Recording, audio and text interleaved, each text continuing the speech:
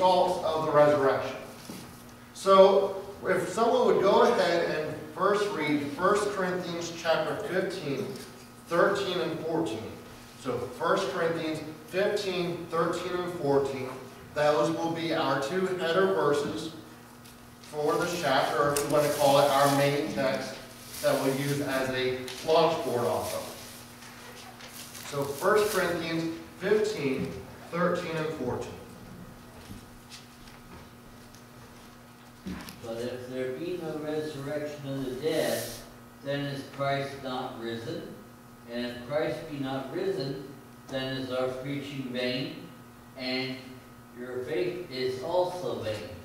So the Apostle Paul wrote in 1 Corinthians 15, 13 and 14, that if there is no resurrection, then what is the actual outcome? If there is no resurrection, then Christ isn't risen. He is still dead. And if Christ is still not risen, and in layman's terms, for lack of better phrasing, he's still dead, then what does that do to our faith? Our faith is in vain. Because our faith isn't in the fact that Jesus Christ just died and we assume he rose from the dead, but that we know that he rose from the dead. It's not an assumption in any way, but it's a fact and it's a statement.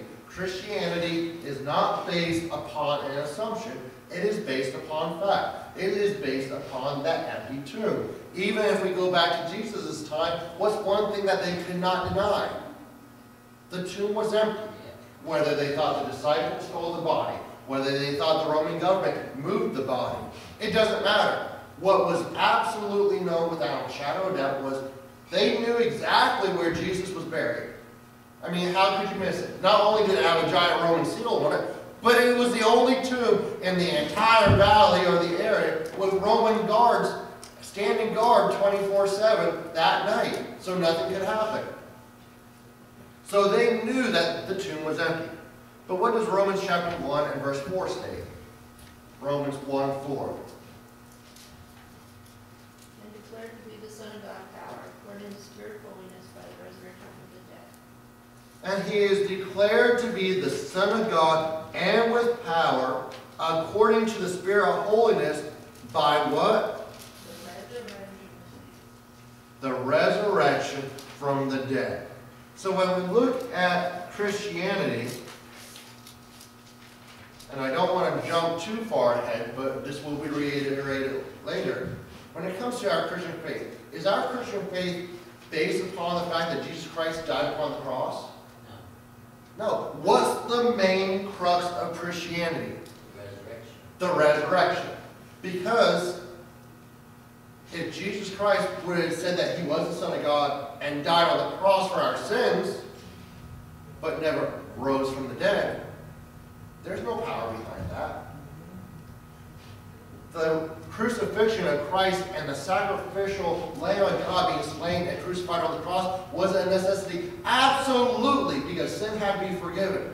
But if he would have never rose from the dead, he wasn't who he said he was. Because we can go through the Gospels countless times and see where he alluded at his death and resurrection. Not just the death, but the death and the resurrection being one event to a degree. When we get to days prior, Jesus told his disciples right out I'm going to die, but I'm going to raise from the dead. There were no parables. There were no stories. There were no stories with heavenly meanings. Jesus told it blatantly as much as you told your children. If you touch that, I'm going to slap your hand. You know, there was no, it was clear. There was nothing left to the imagination. It was not ambiguous. It was a matter of this is going to happen, but I, this is what also going to happen. But the Bible informs us at those times, as we read those passages, where it is cut and dry, that the disciples didn't understand it. But Christianity, our faith in Jesus Christ, is not based on the, on the crucifixion, but is based on the resurrection. Now, there's so much more that came with it, and that's what we're going to be looking at today. Because there is so much that happened in the time span of Jesus being betrayed, being put on trial, all the way to the fact of the um, resurrection. There is so much that's sandwiched in there that's meant for us as the believer. And it is all based upon the resurrection of Jesus Christ. The resurrection is what the, put the stamp of validation upon all the other events. So, why must Jesus Christ die in the first place? If someone would please read Genesis chapter 1 and verse 31. Genesis 1, uh, Genesis 1 and verse 31. And there's something particular we're going to pull out right out of this passage.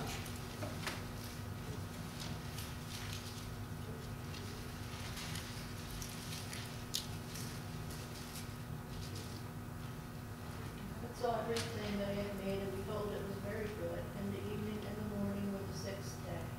So here we have God. He's looking back on his creation. And how does he define it? Good. Good, very good. Not, not just good, but it's Very very good.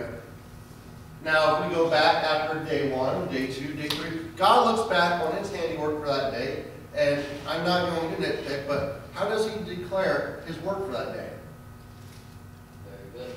It was good, it was very good, but regardless, when we look back at it, if we put it even in the big terms, it was perfect. What God created was perfect. He looked back and he said, you know what? That pleased me. It's good. I couldn't add anything more to it. I, I definitely don't want to do anything less to it. It's the best that it could possibly be right now. He gets to day two, and it was good. It is perfect. It's the best that it could ever be. We get to the end of creation, and God looks back, and he contemplates everything that he did, and it was very good. It's perfect. There's nothing that anybody or anything else that could add to it that wouldn't add any finishing touches or detail. It's exactly the way it needs to be. And then in Genesis chapter 1, 26 and 27, we see that God does something. What is different from all of God's other creation? Amen. He, he made man in his own image. So God looks back and he makes man, and then he also makes someone else. He makes a woman out of the rib of man.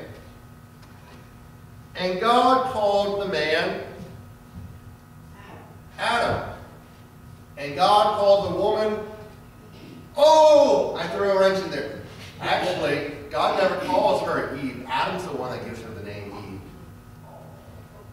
God made man and woman. Sorry, I just want to make wheels because now when we start reading the Bible, somebody says, well, God made um, Eve, called her Eve. No, God didn't call her Eve. All that was was a defense mechanism for the future. But regardless, God created Adam and God created Eve. God named Adam, Adam named Eve, because she was the mother of all living things. And the verses are right there in your notes. You can reference back. And at this point, how do we declare, say that God would declare his creation? It's very good. So every time God looks back at creation, he sees that it's very good. So then God does something special for this man and this woman. What does he create that's special for them? Garden of Eden. He creates the Garden of Eden for them, almost their own little paradise for them to keep. Basically, it was their home. if we would put it in modern terms, it was their house. That's where they lived, that's where they slept, that's where they ate, that's what they took care of. You know, what you do on your day off from work, you go home and you take care of, them, you clean up, you do this. There's always something to do around the house. But the Garden of Eden was uh, Adam and Eve's home. And when God looked down at creation at this time, how did he view it? He had the garden, he had Adam, he had Eve. Everything was working smoothly, and he saw everything, and he would declare it as very good. It was perfect. It was, everything was going smoothly. He'd come down in the cool of the day. He talked with Adam and Eve. In fact, the Bible says that he walked in the present in the garden. There's only one voice that walks that I know, that's Jesus Christ, but that is a personal opinion. But we do know that God came down and walked with them, and he talked with them, and he communed with them in the cool of the evening. But something happens. Now the monkey wrench gets tossed in there. Yeah, the snake comes along. The snake comes along. Yeah. And what do we know about the serpent, the snake? Satan.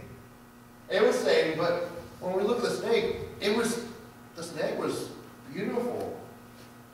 And it's not like a, a snake like we would know today. The snake had legs. And it talked with Eve. And it started talking to Eve and said, What did Adam say? Did God say this? And did God say that? What did God you? And we don't really know Eve got her information concerning the tree of knowledge of tree of good and evil from Adam, or if she got it directly from God, because when we look at Scripture, there's a little bit of wording difference between what Adam, uh, Eve tells um, the serpent. Because nowhere in the Scripture, and I'm just going off of knowledge at this point, I'm far from the notes, we'll get back there, but God never said you couldn't touch it. He just said, don't eat of it. Eve throws in that word touch. So whether or not Adam said, you know what, Eve, don't even touch it. Stay away from it. And things got misconstrued, I don't know. But we do know that something happens. And Eve partakes of the fruit of the tree. And what does she do? She runs to Adam. Adam, you gotta try this. Now, what does the Bible inform us about Eve when it comes to her partaking of the fruit? Sister Jan, I'm sorry, I'm so far off your notes at this point. We are we are in the Bible, we're just far off those notes. But what does the Bible inform us about Eve and taking of the fruit? Do you remember? There's a big old D word the Bible says. D. Huh? Behold, Not behold. I know I drew that in Psalms, but not behold. But she was deceived. Adam, was he deceived? He was deceived by the woman. He wasn't deceived. The Bible says that he knew exactly, the woman was deceived, but Adam was not. Now, did he disobey God? Yes. Adam willfully disobeyed God. See, the woman did not really know, I shouldn't say didn't know what she was doing because, but regardless, he was deceived. She was manipulated. But when Adam took the fruit, he knew exactly what he was doing. He was aware of what God said. He was aware of what was going on. It was almost, you know what? I'll just take a bite. I'm going to do it anyhow. And because of that act of disobedience, sin didn't fall upon womankind because of it, but Adam, as the head of the household, sin came through Adam. That's why, one of the reasons when we talk about the virgin birth, a human man wasn't involved was because sin passed from Adam. Not that we all were born into sin, because we all were, for all were. uh, yeah, like I said, I'm so far off my notes, it's not even funny. For all have sinned and come short of the glory of God. It passed upon all of us, but we both had a human male and a human female involved in the recreation process. Mary had the Holy Ghost involved. And with it passing from the head, Adam, she was a de- um, Jesus Christ was deviated from that. Now, Pat, moving on.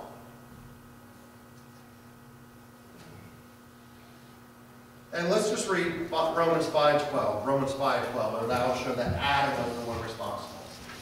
Romans 5.12. And then we'll move on to the next thing, the results.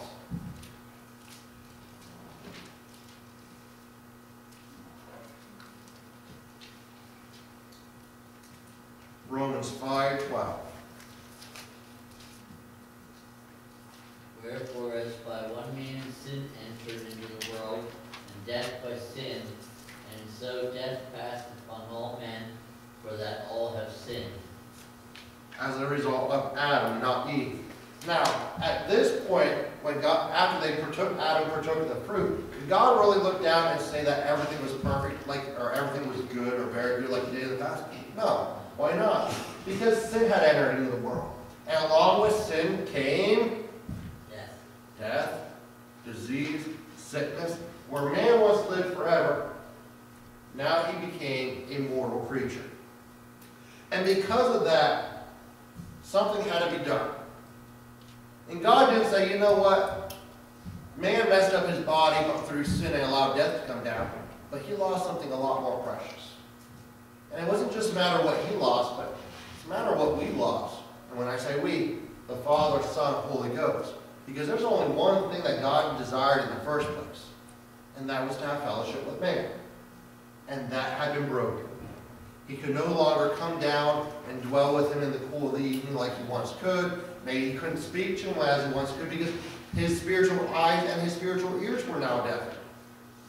So now God desired and longed to put all this back. And when we get into the crucifixion, we are slowly restoring things that were lost all the way back at creation. One of the very first things that we notice as we're going through the crucifixion, I hate to say the progress, uh, process, but the crucifixion time frame is a better phrase. With Jesus Christ was one of the first things that they did, that Pilate did to try to get the Jews to release, allow Jesus to be released. Because remember, it's not that he didn't have the power, but he was leaving the decision to them. It was passed over and it was tradition by the Roman government that we will release one prisoner back to you of your choosing. That was their tradition. But the Jews wanted Jesus Christ to be crucified. And on a side note, take notice that it wasn't the sinners outside of the church that crucified Jesus, but it was his own church members. It was the religious people. In fact, on a side note, it was his treasurer that betrayed him in the first place. But with that being said, Pontius Pilate did something to try to have the Jews to decide to release Jesus instead of Barabbas. So what did Pilate do? I'm trying to pull now and refresh our memories. Huh? The way he washed his hands to, Well, he did that later, but what did he have done to Jesus? had him flogged He had him flogged, and we, he had him scourged, he had him beaten. And when we look at this in the Greek, and the Greek word that John used means to flog, literally to scourge. The words, the Greek word that Matthew Mark used meant um, like to whip, to lash. We know that it was the cat of nine tails from history stu- study, pulling apart. It had metal chunks, bone, glass, sharp objects attached to the end. That way it would dig into the flesh and rip it off. But why did Jesus Christ have to go through that? Would someone please read Isaiah 53:5, Isaiah 53:5, and someone else find 1 Peter 2 and 24. 1 Peter 2, 24, and Isaiah 53 and verse 5. And read Isaiah first. Isaiah 53, 5.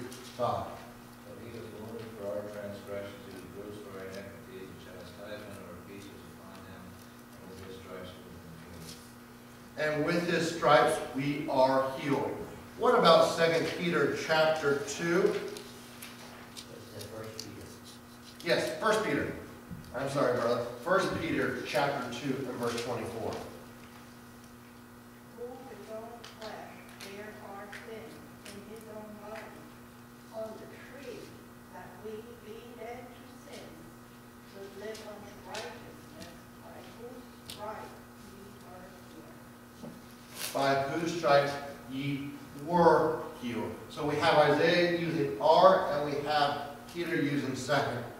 What do we see exactly transpiring in this passage? When we look at these stripes, they are referring to the scourging that Jesus Christ had. Not the crucifixion itself, but the scourging. Why did Jesus Christ endure the scourging? This wasn't necessary for the salvation of sins. For our healing. It was for our healing. What did Adam lose in the garden when he sinned? He brought death, disease. You know, when God comes and gives us something, He gives us so much more than we could ever dream or ask for. He gives us um, exceedingly and abundantly above all we could ask or think. But the reason, reason that Christ was scourged wasn't just to make a public mockery of him, so hopefully the Jews would have pity on him, but this was coming long time advance. And it was for our healing. As I was reading this passage, and this is just me reminiscing here in the last couple of weeks, I've been going back to the old time uh, miracle evangelist. You know, it seems like we know that God heals, but in the church world, it almost seems like we lost something. Because back in the 1950s, God was really moving once again. Regardless of their lifestyle, how they ended up, whether you agree with it, disagree with it, men like A.A. Allen, Jack Coe, Kathryn Kuhlman, these were people that saw miracles almost on a daily basis. And we don't mean just one or two, but God did great and mighty, mighty things. And it all comes back to this right here. What God, what Christ did on the cross. In fact, Brother Eli, you'll get a kick out of this one. I was there is a gentleman by the name of Robert Liardon. He wrote a book called John God's Generals. In it, he writes about the early, uh, if you want to call it, founders of Pentecost, fathers of Pentecost, and I mean American Pentecost. We're going back to A.A. Allen. We're going back to Smith Wigglesworth. We're going back to uh, the head of the Salvation Army, William Booth. A whole different ones. And what he does is he dives into their lives, kind of giving a biography of their life.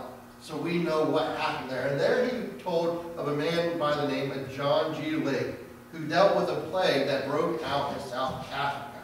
He was a missionary there. And this plague just ran rampant, killing people. And it was so dangerous that pastors were not doing funerals. They were avoiding them at all costs because they didn't want any interaction with the dead. But John G. Lake said that the law of sin and death was part of his life now that Christ has set him free from the law of sin and death. He didn't have to worry about that. And he said, I will bury your dead regardless. And he dared them to take saliva from a dead corpse, put it on his hand, and he said, as soon as it touches my hand, that um, bacteria will die. Sure enough, they placed his hand under a microscope, and all the bacteria from the plague died. They couldn't believe it, so they went and did several other testing to prove it accurate. Why did Jesus allow them to scourge him? Why did they allow, why did he allow them to beat him in such manner? If we get down to it, he wasn't just beaten, but the Bible says he was beaten upon recognition. The Bible describes the scourging so intense that the Bible says his reins are showing, were showing. What were his reins? It means his kidneys, his skin was ripped off, his flesh was ripped off, his meat was ripped off, that his kidneys, his internal organs were exposed. Why did Jesus Christ do it? It wasn't for our sins, because the scourging had nothing to do with our sins. But he said, you know what? I'm going to go a little bit farther. They don't just need spiritual healing, but my people, they need a physical healing as well. And they need something to go back for. And this is going to be a gift that I give them for a future. Adam might have lost it in the garden, but I'm going to restore it. From there, Jesus went from our physical healing, so now I need to restore fellowship with man. It may not be as we once walked with him in the garden. It might be a different type of walk, but I'm going to walk with him as closely as possible. And that brought him to the need for our spiritual healing. It took him from that scourging post where he was too weak to even carry his own cross member um, down the Dolorosa to Mount Golgotha. But it brings him to that hill where Christ purchased our spiritual healing on Golgotha. The cross was to restore fellowship with man once again. Romans 5 and verse 14. If someone would please read that, Romans 5, 14. Nevertheless, death reigned from Adam to Moses, even over them that had not sinned, after the similitude of Adam's transgression, who is the figure of him that was to come. So sin got passed on to all men. It doesn't matter if you disobeyed God from the get-go, if you were if you were trained right and you followed God and even like Enoch, you walked as closely as possible, that sin was still passed on to your passed on to you regardless. But Jesus brought salvation into the world. Do you still have that passage, brother, Romans 5? Yeah. You want to jump- jump down to verse 19, please? For as by one man's disobedience many were made sinners, so by the obedience of one shall many be made righteous. because of the disobedience of Adam. Here we have the idea, I shouldn't say just the idea, but we call this the concept of federal headship. Adam was the head over all humanity. What happened to him got passed down.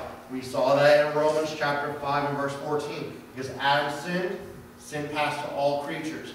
Well, I say all creatures. I say that loosely. It was passed to all mankind. Don't take it out of context. But because of Jesus Christ, we may all live. Jesus being referred to as the second Adam. He had to die as the spotless Lamb of God for the sins of the world. Would someone please read Revelation, read John 1.29, John 1.29, and then after that we'll read Revelation 13.8, if someone will get that. Revelation 13.8. So John 1 and verse 29, if you have it.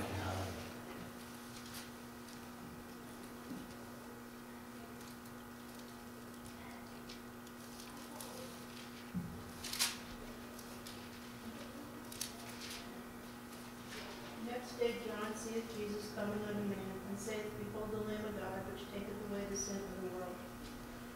When we're looking at this passage, we're not talking about John the Beloved, we're talking about John the Baptist. He was the forerunner of Jesus Christ. And how does the Bible say that John the Baptist described Jesus Christ? We're going to use that big B word, Sister Linda. Behold Behold. the Lamb of God. What does Revelation chapter 13 and verse 8 ref- uh, state concerning the Lamb of God? Revelation 13, 8. And all that dwell upon the earth shall worship him, whose name is not written in the book of life of the foundations of the world. He was the lamb slain from the foundations of the world. Really, if we wanted to jump back into the Old Testament, we already saw a type and a shadow and a picture of this already coming in the sacrifices of the temple and the tabernacle. But John said to the Jews, Behold the Lamb of God. What was the purpose for the Lamb of God? Revelation 13 tells us he was to be slain. And when was it decided that he was going to die for all humanity, that we may have fellowship with him once again? From the foundation of the world. Was that before or after God looked on creation and said it was very good? It was before. This reveals to us the omniscience or the all-knowing capacity of God. He knew what was going to happen from the very beginning. He made everything as perfect as possible. But he still knew that sin was going to enter into the world. And he was going to make a way. Not just for our spiritual, our physical healing, as Isaiah wrote about, but God was already prepared to make a way for our spiritual healing. But these two things, the spiritual healing and the physical healing, they're all based on one event. And what is that one event?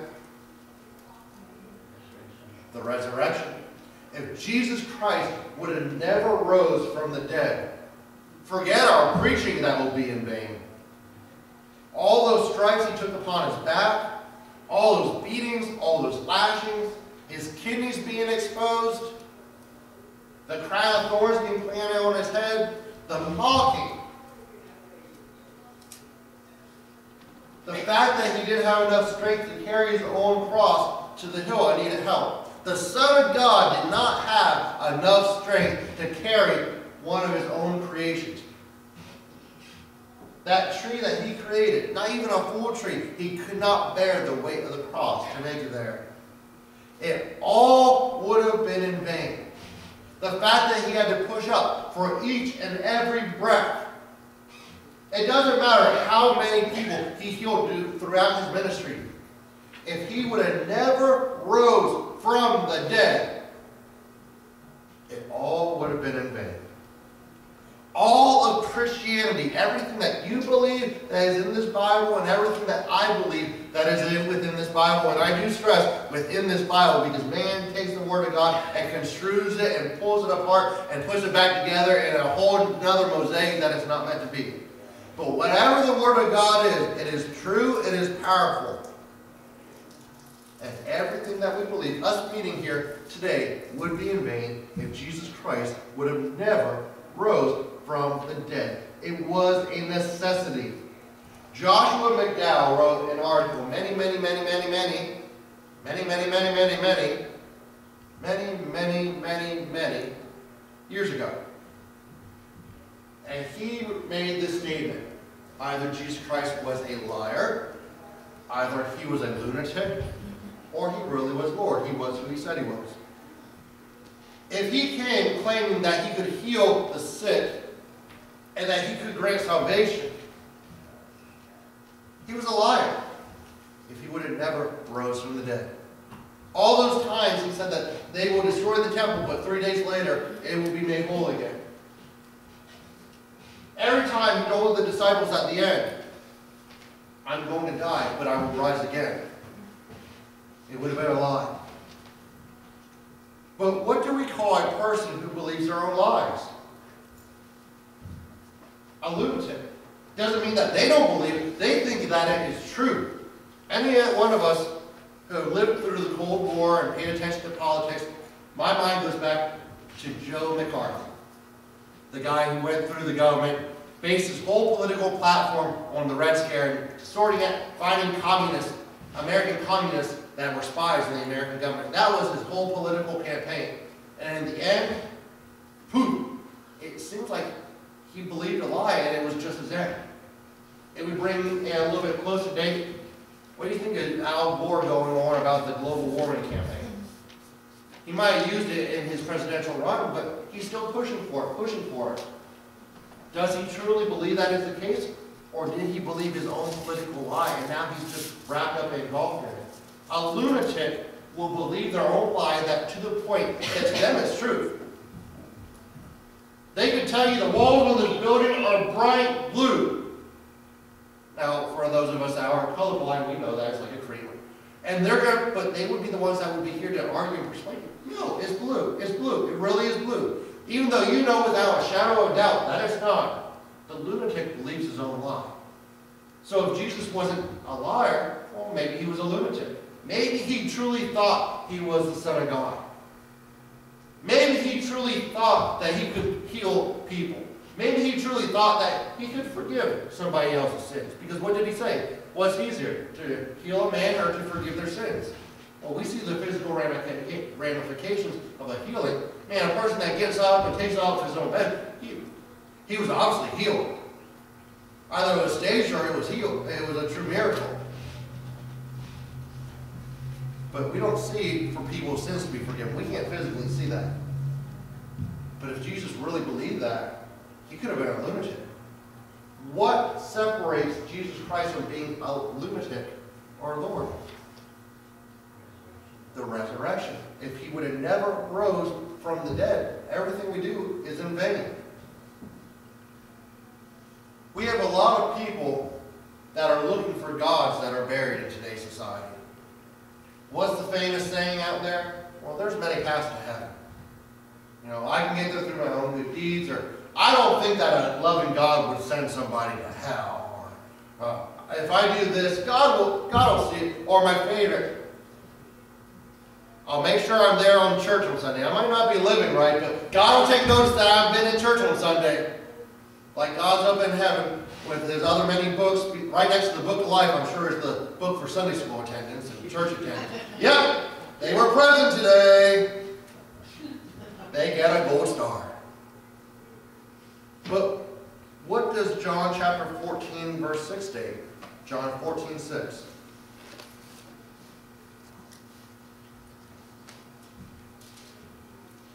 Before we read John 14, 6, let me read Luke chapter 24. Luke 24, I'm going to read from verses 1 through 6 real quick. Now, upon the first day of the week, very early in the morning, there came unto the sepulchre bringing the spices which they had prepared, and certain others with them. We know that from other gospel accounts, this was the women. And Mary, the mother of Jesus, Mary Magdalene, and several other with them. They came to embalm the body of Jesus Christ with the spices. Bringing the spices which they had prepared, and certain others with them. And they found the stone rolled away from the sepulchre, and they entered in and found not the body of the Lord Jesus. And it came to pass, as they were much perplexed there about, behold, two men stood by them in shining garments. Who are these two men? Angels, they're in shining garments. And as they were afraid and bowed down their faces to the earth, they said unto them, Why seek ye the living among the dead? He is not here, but is risen. Remember how he spake unto you when he was yet in Galilee, saying, The Son of God must be delivered into the hands of the sinful men and be crucified, and the third day rise again. So I read down one more verse. What does John chapter 14, verse 6 state? John 14, 6. Jesus saith unto him, I am the way, the truth, and the life. No man cometh unto the Father but by me. I am the way, the truth, and the life. And how do people get to heaven? Only through Jesus. Only through Jesus. By Muhammad? Nope, By Gandhi? nope, Where are they at? they're dead. They're dead. Do the people get there by their own good works? Nope, No, Why don't we get there by our own good works? because you can't, only through Jesus. You can't, only through Jesus. What does Scripture say about um, our righteousness? Filthy rags. They're both rags. And when we get down to what is it speaking of by our righteousness, it's referring to our works. Our works, our good deeds. Well, if I do this, God will remember. If I go to church, God will remember. I might go out and sin during the week, but God will remember this good deed that I did to try to get there. Or, you know, somebody's not living right and they know, well, God knows my heart. You're sure right, He knows your heart. I mean, God, we don't know our own heart is deceitfully wicked, but and we're trying to constantly introspect. But I'm telling you what, there's only one way to heaven, and it's through Jesus Christ. Not just his death on the cross, because the death on the cross was for our sins. It wasn't by the scourging, because the scourging was to give back something that was lost, just like the day of Pentecost. The reason we speak in tongues is to regain back what was lost at at Babel. God confused the language to divide the people. Now he brings in there and unifies people through the tongue. But Jesus is the only way to heaven, not any other way. Because if we would try to do it on our own, we know the Bible says, because if we would try to do it by good deeds, we would boast of it. And then we'd be prideful. And God hates the proud. He despises the proud. I need a little bit of help because I'm losing the verse. I had earlier. I remember it throughout the week. Probably before there. Oh, there's a verse that says, oh, he despises the proud, but he gives grace to the humble. Yeah, pretty much. But even if we try to do it through our own works, you know, there's nothing there alive. What makes us alive is the Holy Ghost. And that's, uh, and the Bible describes that as our earnest, which the earnest is a little bit of our inheritance that we're going to receive in heaven. So God gives us a little taste, but it's the Holy Ghost that makes our spirit alive, that quickens us and makes us a living spirit. Not our own works, not some other prophet. And it's all because there's only one way to heaven, it's through Jesus Christ. And he wasn't a liar, and he wasn't a lunatic, but he was Lord. He resurrected from the grave, and because he resurrected from the grave, all the works that he did up to the cross, from the time that he was captured, and I mean the works by receiving the stripes for our healing, and the death of the cross, which was his sacrifice for our sins. It wasn't in vain. But it was verified and placed a big stamp of approval on because of the resurrection. And we can see that the Father accepted the blood of Christ because when Mary saw him in the garden, she said, "Don't." He said, don't touch me because I'm not going to send it to the Father. The sin sacrifice, the blood, when that high priest was carrying that bowl, nobody could touch him. Otherwise, the whole sacrifice would be defiled.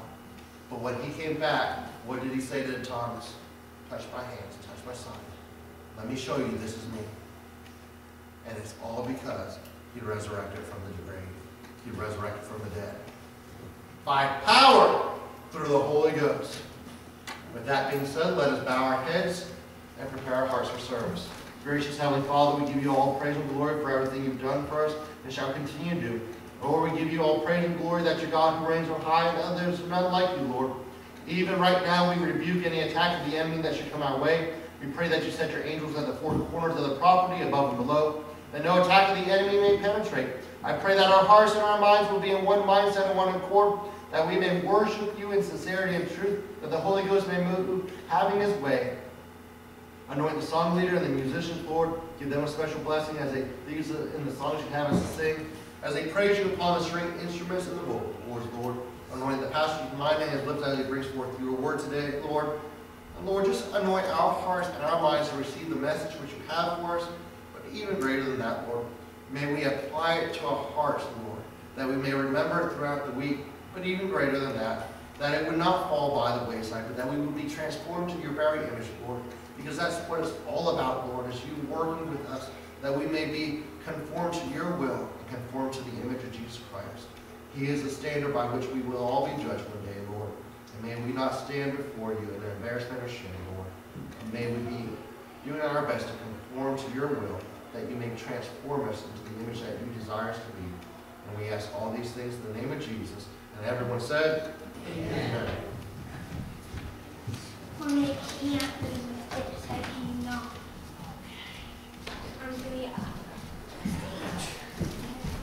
Here.